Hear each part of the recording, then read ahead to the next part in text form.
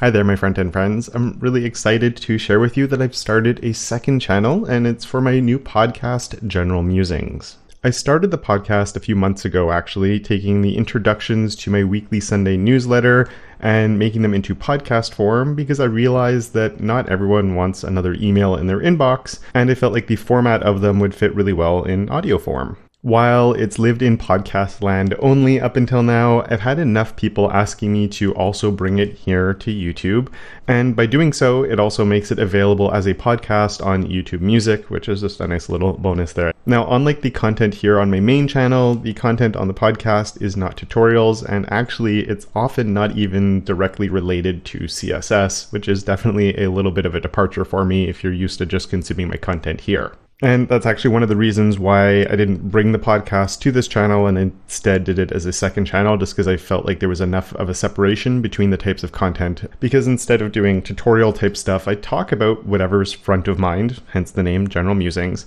And it's just whatever was front of mind for me in any given week. So, for some examples, I have an episode where I talk about how I use Notion to help me stay on task and stay organized. There's also another one where I talk about a trick I use to stay focused when I'm working from home. Though, of course, sometimes they do fall into the CSS realm, just because front of mind for me often is something at least somewhat CSS related. So, you know, one episode I talk about, it's just called the CSS mindset, and I talk about why CSS is different from other languages. I have another one where I talk about intrinsic layouts and intrinsic web design. And so they're always at least tangentially related to development in some way, or things that I feel like my audience would benefit from in one way or another, sometimes very tightly related to CSS and sometimes much more general. Now, when I started the podcast, it was really just a big experiment for me. I wasn't even sure if people would be interested in having a podcast and listening to me talk about stuff. But so far, the results have been a resounding yes. People have been really enjoying it. So I'm planning to keep doing it, hence why I'm also bringing it over here to YouTube. And if you go and look at the back catalog of them, you'll notice that the early episodes were only about three, four minutes long. And since then, they've actually expanded up into the like 10 to 15 minute range instead. And one of the reasons for that is I originally was only doing the very introduction part of my newsletter where I'd talk about random stuff, like I was saying.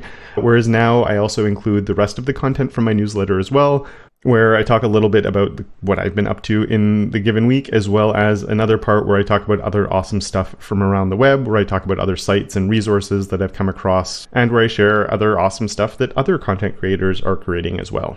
And speaking of the back catalog, if you're the type of person who likes to listen through the back catalog of a podcast to not have missed any episodes, if you do go through those earlier ones, you'll notice that not only are they shorter, but there's two other really big differences as well. The first one being that the first six episodes don't actually have any video because I wasn't originally planning to bring it to YouTube in this format, but the newer episodes, just like this, it's me talking to the camera, just like we see here. The other difference, though, which is probably a much bigger one, is in the very early episodes, I was actually using an AI text to voice tool called Eleven Labs to read the script for me because as I said, when I started the podcast, it really was an experiment. And my idea was I would have my newsletter written, I could copy that, paste it into Eleven Labs, and generate the content for me. Because after playing around with it for a little while, I was really impressed with the results. And I thought maybe that could be good enough. And the results of it actually were kind of mind blowing. Here's an example of an introduction to one of the episodes. This is an experimental podcast where I'm using Eleven Labs AI voice cloning to turn the general musings of my weekly newsletter into podcast form.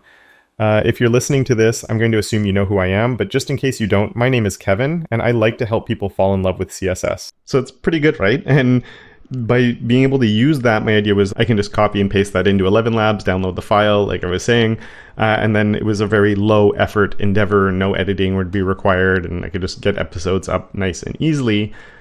But after a few episodes of playing around with it, I realized it was taking me longer than I was hoping it would, and it wasn't saving me as much time uh, just because when I'd have to upload, there's a few settings within Eleven Labs, so some levers you can pull to sort of play around with stuff, and I'd always end up having to do that, and then I'd have to make a few changes to the script as well, just to try and improve how it was reading certain things.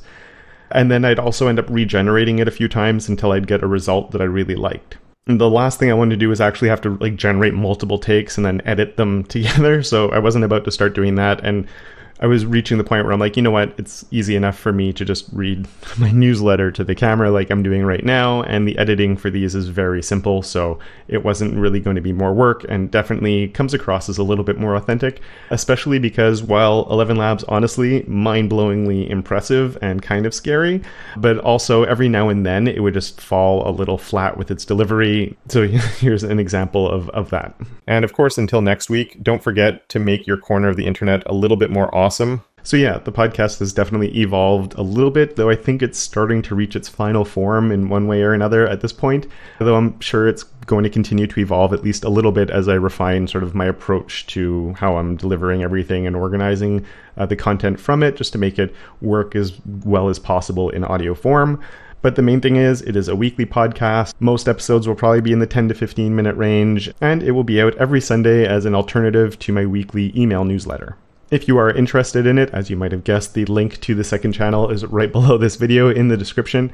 So you can go and check it out. And if you listen to an episode or two and you enjoy it, please do consider subscribing to it as well. Or if you'd rather, I've put links to Apple Podcasts and Spotify down below, as well as the RSS feed. So you can manually add it to your podcatcher that way as well so yeah, exciting times for me. Second channel, more more stuff to manage, but yeah, uh, for me, it's something that I've always enjoyed. My newsletter is one of my highlights of my week every time I'm working on that, and so doing it in more formats so it can reach more people is, I think, a fun thing to do. And if email isn't for you, definitely at least give one episode a lesson, even if it's one of the AI ones, just out of curiosity, just to see if it's the type of thing that you might enjoy. And once you've listened to an episode or two, once you're all done with that, you've subscribed to it in your podcatcher and, and all those good things. Don't forget, of course, to continue making your corner of the internet just a little bit more awesome.